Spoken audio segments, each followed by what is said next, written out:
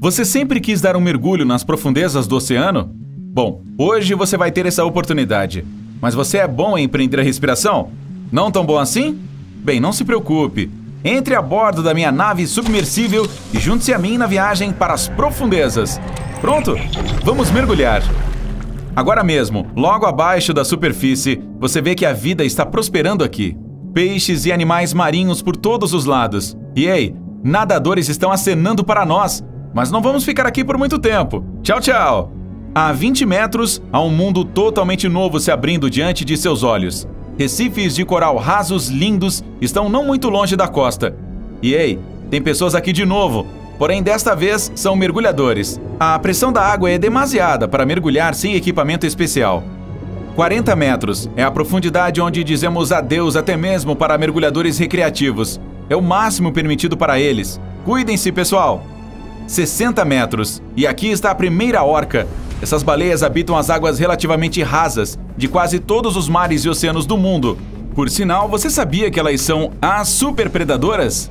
Isso significa que elas não têm inimigos naturais e ninguém pode derrubá-las. A 70 metros de profundidade, encontramos tubarões-baleia, a maior espécie de peixe conhecida, pesando até 60 toneladas. Eles têm uma expectativa de vida longa, podem viver cerca de 130 anos. Agora olhe para fora. Se você vir um mergulhador, se trata de um verdadeiro profissional, porque a 100 metros eles terão que ser muito cautelosos para não ter a doença da descompressão. Ela ocorre se você subir muito rapidamente a superfície. E se você tiver sorte, você também pode ver um polvo gigante do Pacífico. Ele vive em águas frias, começando nesta profundidade e descendo até 2 mil metros. E agora estamos entrando na parte escura do oceano. A 150 metros, apenas 1% da luz da superfície chega até nós. Todo o resto é absorvido pela água.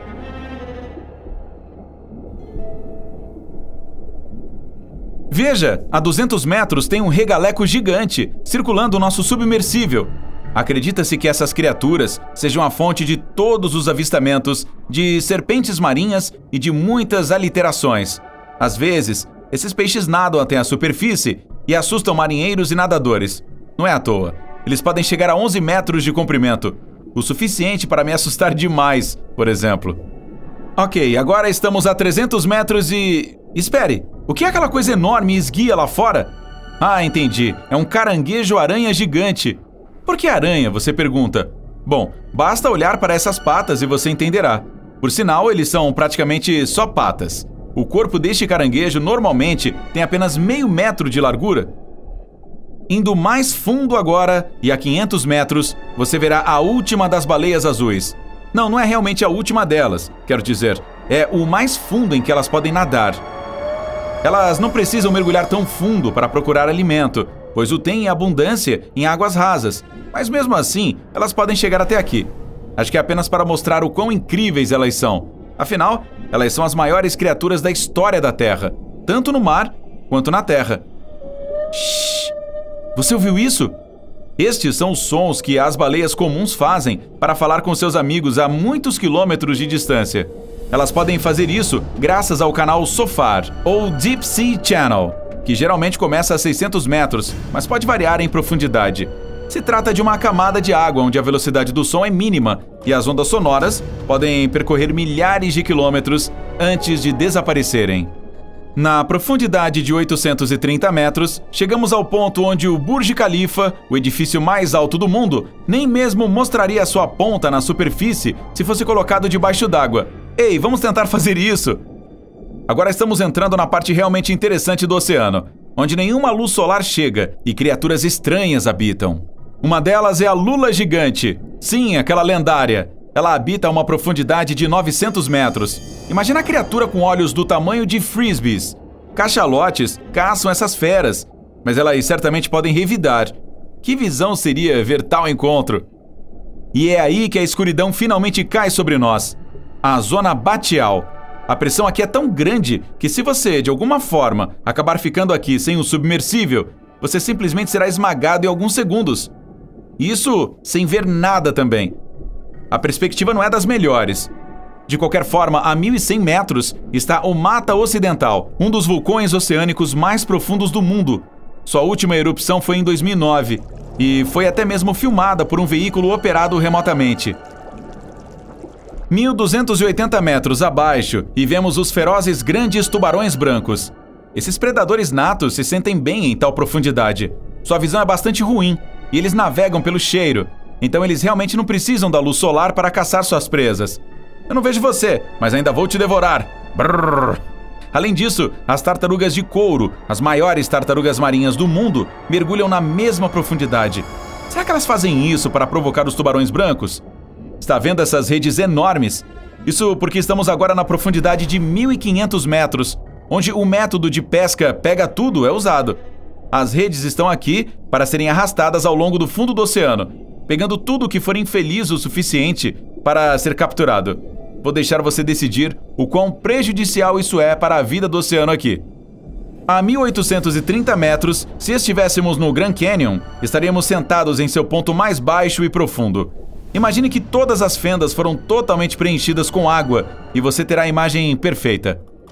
Agora, se formos realmente cuidadosos, na profundidade de 2 mil metros, seremos capazes de ver o peixe-dragão negro, uma criatura de pesadelo que habita nas partes profundas e escuras do oceano.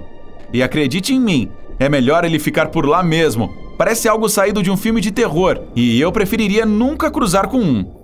A 2.250 metros, estaremos nos despedindo dos cachalotes. Este é o ponto mais profundo em que eles podem mergulhar e, francamente, eles não têm nada para fazer em tal profundidade. Talvez eles caçem o peixe-dragão negro, é claro, ou ele os caça. Ah, a diferença de tamanho é muito grande. Os cachalotes podem atingir 19 metros de comprimento, o que os torna os maiores cetáceos dentados do mundo. Poucas criaturas podem se opor a isso. É bom que o nosso submersível tenha uma luz poderosa. Sem ela, não teríamos sido capazes de ver a beleza surpreendente dos recifes de coral do fundo do mar, localizados a uma profundidade de 3 mil metros. Eles podem ser encontrados em todos os oceanos, e é uma pena que não possam ser vistos sem equipamento especial de mergulho em grandes profundidades. Ok, indo mais fundo ainda, e a 3.700 metros alcançamos a profundidade média do Oceano Mundial. De agora em diante, a jornada para as verdadeiras profundezas começa. O fundo do oceano em geral foi ultrapassado, então agora é hora de mergulhar na zona abissal. A 4.500 metros, os monstros de seus piores pesadelos aparecem. O peixe-diabo negro, por exemplo, vai assustar qualquer um. Seus dentes longos e tortos, juntamente com uma protuberância na cabeça que atrai a presa, são suficientes para causar medo, mesmo nos mais corajosos. Mas talvez ainda mais terrível seja a criatura chamada engolidor negro. É uma fera parecida com uma enguia, que tem um estômago muito flexível e pode engolir presas que têm o dobro do seu tamanho. Olhe para baixo e você verá o naufrágio mais profundo já encontrado. SS Rio Grande, no Atlântico Sul, naufragado em 1941. Chegou à profundidade de 5.760 metros. Não é à toa que só tenha sido encontrado 55 anos depois. E agora começa a parte mais profunda e escura do oceano. Estamos mergulhando na Fossa das Marianas. Oficialmente começa a cerca de 6 mil metros de profundidade. É a área menos explorada e mais fascinante para cientistas e aventureiros. O que está no fundo dela? Bom, estamos prestes a ver. Mas enquanto ainda não chegamos lá, vou mostrar outra coisa. Por exemplo, aqui está o peixe mais profundo já encontrado. É da família dos Liparidae e mora a 7.900 metros. Seu corpo é translúcido, então você pode realmente ver através de sua pele. Bom, devo dizer que estou feliz por não termos apagado as luzes, afinal, esse carinha é surpreendentemente fofo para uma criatura que pode suportar tal pressão. Indo cada vez mais fundo, você não verá nenhum outro tipo de peixe ou animal vertebrado. A pressão é muito alta para tais criaturas.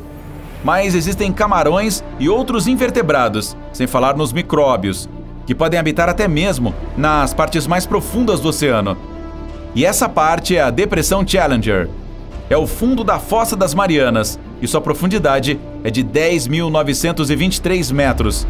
Sim, chegamos bem no fundo da Terra. Poucas pessoas estiveram aqui e muito pouco se sabe sobre o lugar. Mas os cientistas não vão parar. E há esperança de que possamos descobrir em breve mais segredos que as profundezas do oceano guardam.